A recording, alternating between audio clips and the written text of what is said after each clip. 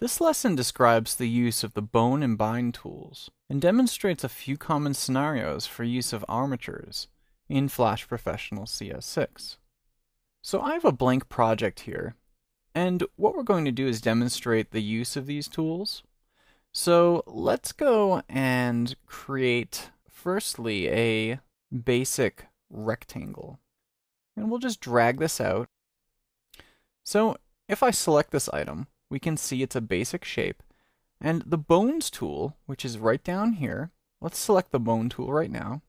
This can be used on either basic shapes such as this, or upon a series of movie clip symbol instances. And we'll demonstrate both here. So to use the bone tool on a shape, all you have to do is click and drag to create a little bone in there. Then you can grab the joint, click and drag again, and so forth until you've completed the sort of skeleton that you want. Now that we've actually created these, we can see that while the shape was on layer 1 previously, it's now created an armature layer for us. And an armature layer, you can see, looks like a little man running, and that shows us that this is an actual armature that's been created. Using the select tool, we can hover over any of these specific bones, and you'll notice that when I hover over any of these bones, the cursor has a little bone next to it. And when I select any of those, we can see properties for that specific IK bone, IK being inverse kinematics. There are a number of different things that we can specify here. We have, of course, the location of the bone and so forth. And these specific elements are just more informational than anything else. We have specifics around the rotation and translation of joints. So, for instance, we can constrain the rotation around a joint using min and max if we want to. And that goes for both joint rotation and joint translation along either x or y. Something that's more new is this spring property. So we're able to give it a certain bit of strength and damping.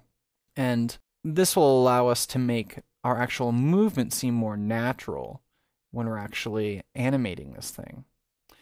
So to actually move these, all you have to do is click on them and then drag them around.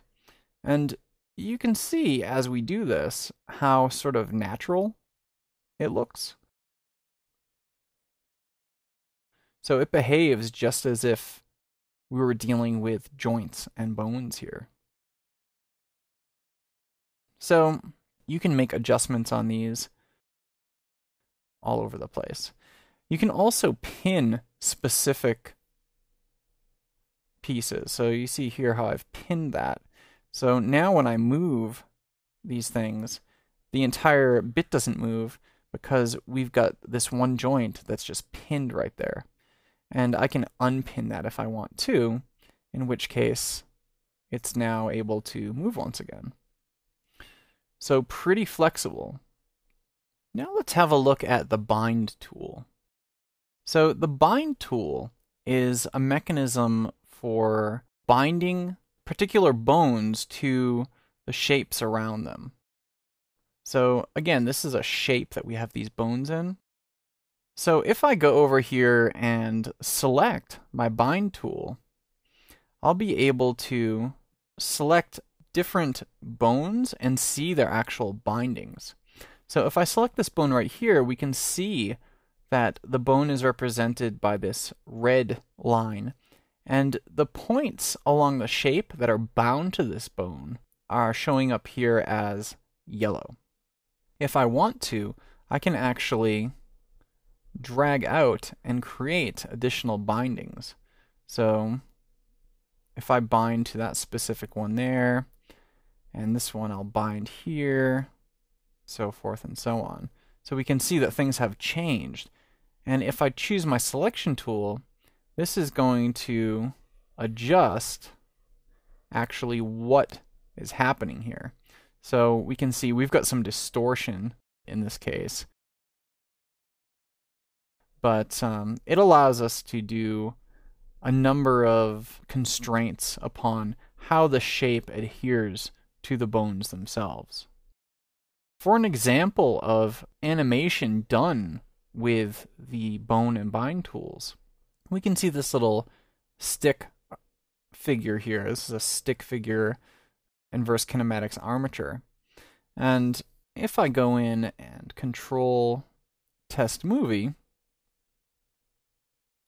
we can see that there is definitely some natural movement going on here through use of inverse kinematics.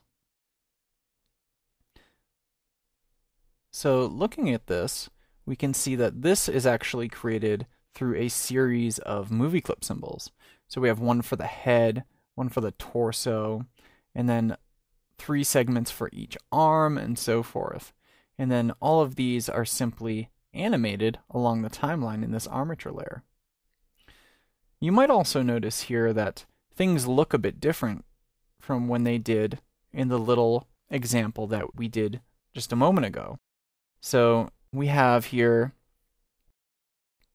the actual bones, but they're actually showing up as sort of wireframe.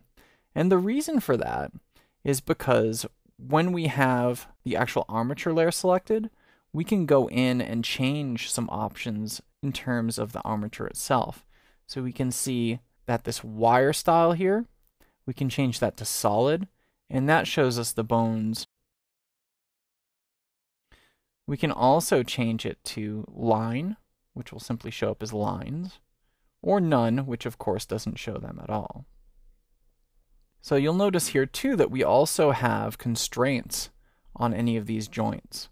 So if I go in with the bone tool itself, we can see that rotation is enabled here, but X and Y translation are not.